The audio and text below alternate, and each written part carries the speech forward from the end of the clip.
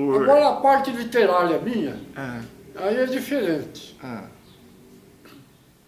A parte literária minha começou, eu comecei como repórter ah. de dois jornais aqui em São Carlos. Sempre com aquela ilusão de ser o cronista, não era bosta nenhuma.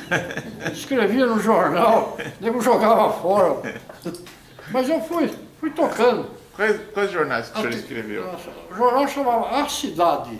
Ah, tá. Ele tinha dois, eram dois irmãos.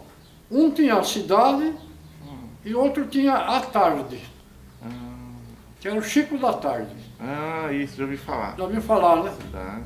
Fixe, É. aquele homem era terrível. É. Chico da Tarde. Ele andava na rua, tirava a bola da molecada e levava embora. Ah, é? o Chico da Tarde? Chico da Tarde.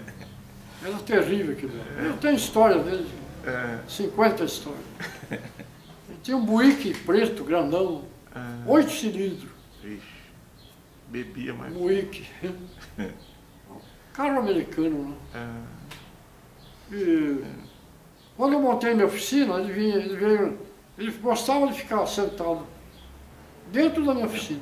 é, conversando com o senhor. Minha, minha mulher punha a cadeira para ele aqui, tinha uma mesinha, copo d'água, ele ficava ali.